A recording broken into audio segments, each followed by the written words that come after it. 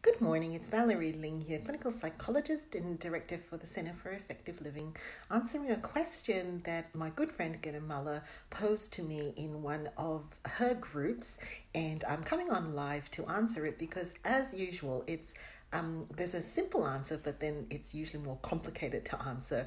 And her question was, how long does it actually really take to recover from burnout? So here is the short answer. The short answer is if you get in early enough, it doesn't take very long, but it's not going to be a week.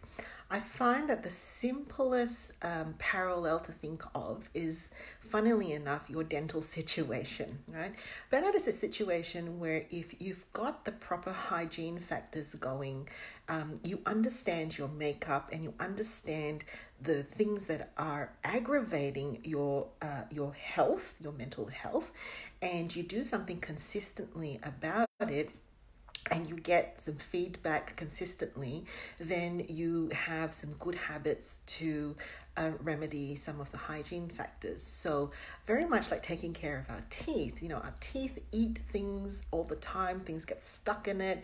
You need to make sure that your calcium levels are up. You know, there's thinking about fluoride, there's thinking about flossing, and then you go hopefully every six months for your dental checkup. That's what we're going to be doing on the weekend. And you get this feedback that shapes your behavior. And if you do that and um, you're taking care of that, then generally uh, things don't progress very far, right? It's when you don't have a proper understanding of what's actually aggravating your dental health and you just keep doing the things that you're doing, and only when it goes to the hour factor owl factor, and really let's be honest, um, the owl factor has to be pretty bad that we take ourselves to the dentist, and then usually the intervention is probably more significant. It's no longer about hygiene factors. You might have to get a filling, you might have to pull out a tooth, you might have to have all kinds of awful things, root canals, and from that point, the treatment gets fairly intensive and it's focused on treatment and then the vulnerabilities that are left behind, you then have to watch your vulnerabilities. So in burnout, it's very similar. At this point in time, the we don't have evidence-based guidelines for the treatment of burnout per se. So I'm going to answer the question as best as I can. The first thing to say about, about it is that when you sat in that state of burnout long enough, meaning the symptoms and your mental health have progressed, that you actually have a mental health issue, diagnosable depression, a mood disorder, a diagnosable anxiety disorder, or a, diagnosable physical health disorder like adrenal fatigue, those treatment guidelines take over, and the timelines then uh, will be a little longer. Okay, so burnout is progressive. Once you get to the stage where it's impacted your mental health and your physical health, then those treatment timelines take over. And again, it will depend on the, uh, the severity of your mental health.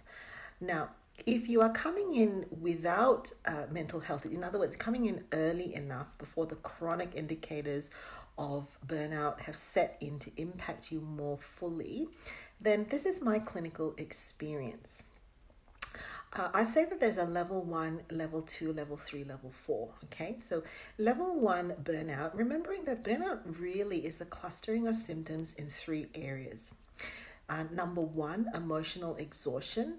Number two, an impacted sense of confidence and achievement.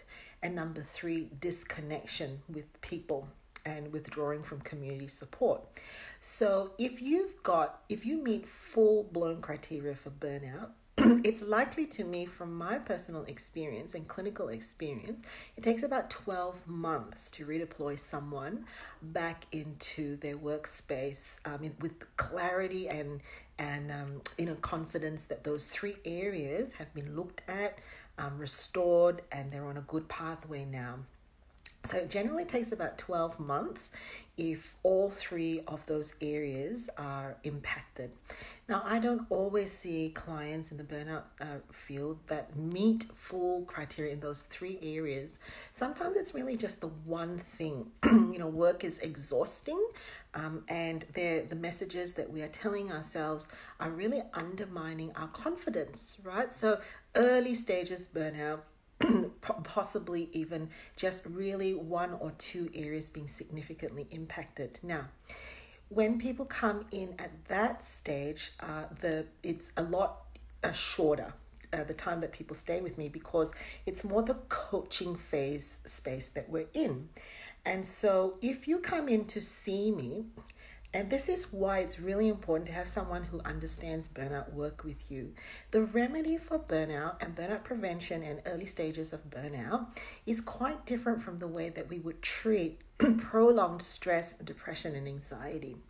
So, yes, rest is important, but we very quickly get to working on which area of the burnout cluster is the most impacted, and we work significantly there. It's a little bit like, you know, if you're an, an aeroplane, if you've got two wings, a nose, and the tail, right?